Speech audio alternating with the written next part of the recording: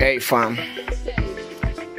today is the last day on X Empire, and I bring to you the stock exchange for 16th, 16th October 2024.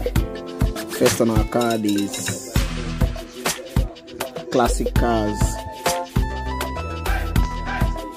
classic cars, and the next is real estate in Nigeria.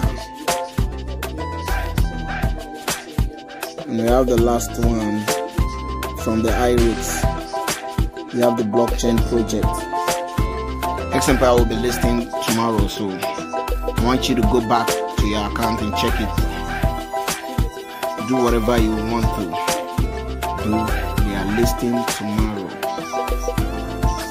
So you don't miss anything.